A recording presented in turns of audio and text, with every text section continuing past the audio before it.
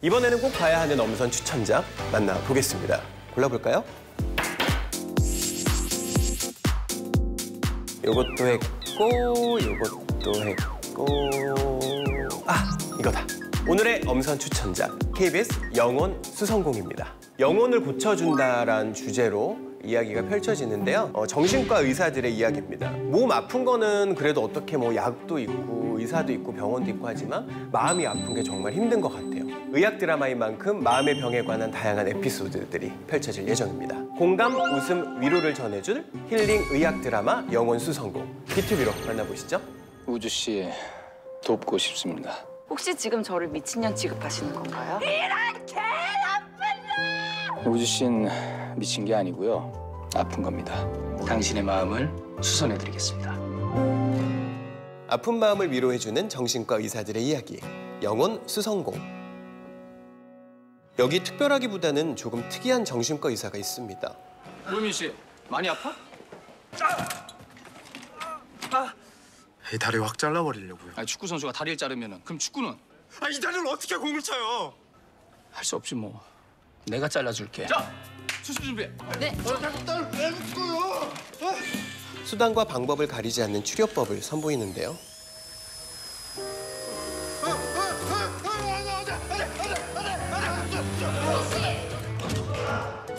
그래도 효과는 꽤 있는 듯합니다. 신체 증상 장애라는 게 있어. 멀쩡한데 아프다고 느끼는 일종의 신경증. 오 선수는 그동안 그걸 알았던 거야. 어, 이 사람이 바로 세상 둘도 없는 괴짜 의사 이시준 선생입니다. 확실해? 다 찾아봤어? CCTV로 확인했어요. 밖으로 나갔어요. 입원 중이던 망상장애 환자가 병원을 뛰쳐나가는 사건이 발생하는데요. 어. 찾았어? 없어요, 교수님. 우린 더 찾아보자. 알겠습니다. 우정아 잠깐만. 차동일 찾았다. 아무렇지도 않게 경찰 행세를 하고 있는 환자를 찾았습니다. 도대체 저긴 또 어떻게 찾아간 거래요? 쟤 저기서 뭐 하는 거야? 사고 치기 전에 시상식이 열리고 있는 곳으로 빨리 가야 합니다. 제25회 한국 뮤지컬 대상 여자 신인상 여명의 한우주 씨 축하드립니다. 상 주고 상 받고 분위기 한창 좋은 지금 이 순간. 헐 환자분 거기서 그러면 안 돼요. 아, 이거 뭐야? 야, 야, 누가 저거? 아무 죄 없는 사람에게 수갑을 채우는데요. 당신을 음주 측정 거부로 긴급 체포합니다. 모든 발언이 법정에서 불리하게 작용될 수 있으며 사고 쳤네. 진짜 완전 초대형 사고.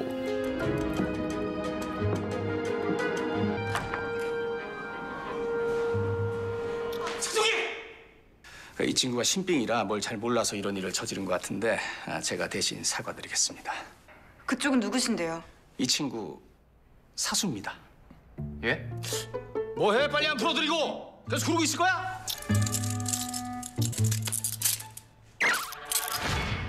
당신을 공무원 자격 사칭죄로 체포합니다. 지금부터 진술을 거부할 권리가 있으며 아니 지금 뭐 하자는 겁니까? 이 사람 경찰 아닙니다. 경찰 아니면 뭔데요? 의사 선생님이십니다. 죄송합니다. 정신과 의사입니다. 실은 이 친구가 경찰이 아닙니다. 환자입니다. 다행히 환자는 잡혔지만 독박은 이 사람이 다 썼습니다. 아니 도대체 그 병원은 환자 단속을 어떻게 하는 겁니까? 다 필요 없고요. 제 피나 좀 뽑으세요. 예? 음주 검사 당장 하시라고요. 저 너무너무 억울하다고요. 아니 걱정 마세요. 그 가짜 경찰이라 면허 취소 안 됩니다. 지금 그게 문제가 아니잖아요. 어서 제 피 뽑으라고요. 제 피 좀 뽑으시라고요. 피 좀 뽑으라고요. 떠오르는 뮤지컬계의 rising 스타 한우주. 그녀는 사실 분노 조절 장애를 겪고 있는데요. 한우주 괜찮아? 어디서 뭐 하고 있어? 너 혹시 이 동영상 봤어? 진짜 술 마셨어?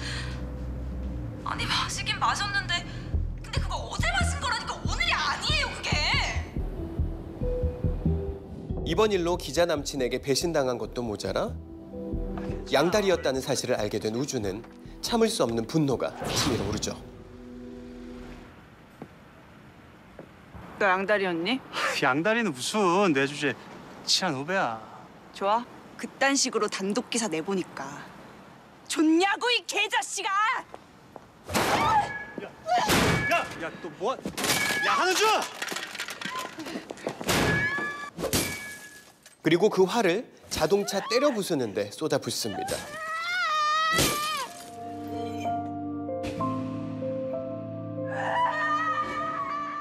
선생님, 이 정도면 진짜 제가 화낼만 하지 않아요? 문제는 어떻게 화를 냈느냐죠.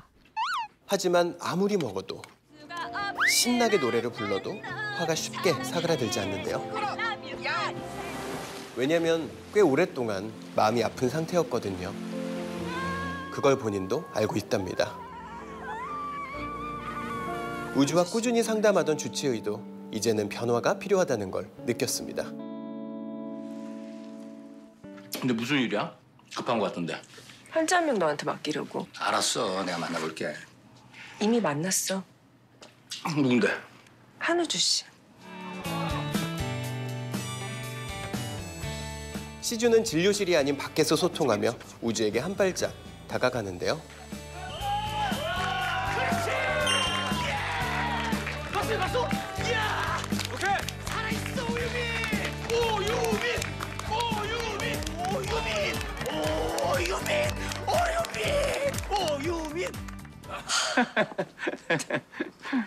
선생님 좋은 의사신 것 같아요. 그럼 좋은 의사한테 치료 한번 받아보지 않을래요? 혹시 지금 저를 미친년 취급하시는 건가요? 아니요. 그런 거 아닙니다. 저 미친년 맞아요.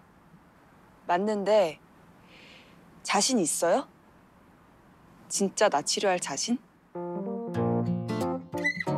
과연 우주는 시준과 함께 아픈 마음을 깨끗하게 고칠 수 있을까요? BTV에서 확인하세요.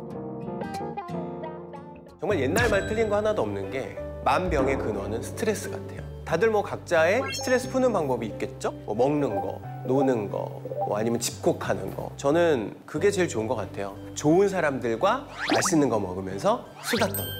그래서 이 드라마에서도 어, 스트레스 만땅인 한우주를 위해 스트레스 해소법이 제안이 되잖아요. 사실 약이 필요 없는 처방전입니다. 저도 한번 해보고 싶은 마음이 들고 또 한번 해보면 후련할 것 같기도 하고요. 이시준이 전하는 특별한 스트레스 해소법 BTV로 만나보시죠. 간밤에 만취해서 응급실에서 딥슬립한 우주. 이게 또 쿠쿠절절한 사연이 있답니다.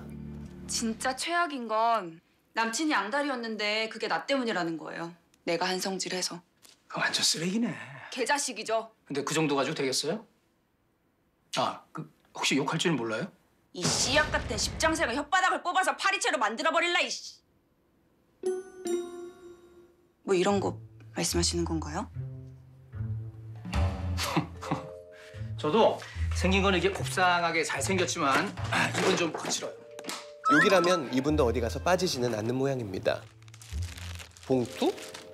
소품까지 꺼내드는데요.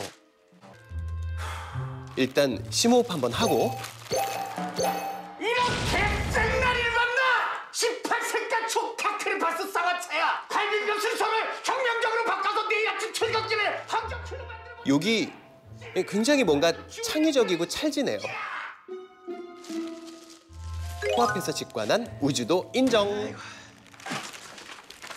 필요할 때 쓰세요. 시주는 우주에게 욕봉투를 선물하는데요. 이 노란 봉투가 우주의 마음을 달래줄 수 있을까요? BTV에서 확인하세요. 자 오늘 TV픽 상처받은 마음을 치료해주는 정신과 의사의 이야기 영혼 수성공까지 만나보셨습니다. 영혼 수성공 못 보신 분들은 1회부터 정주행하시고요. 두 주인공 신하균과 정소민이 주인공인 드라마들 쭉 한번 살펴봤는데 한번 알려드릴게요.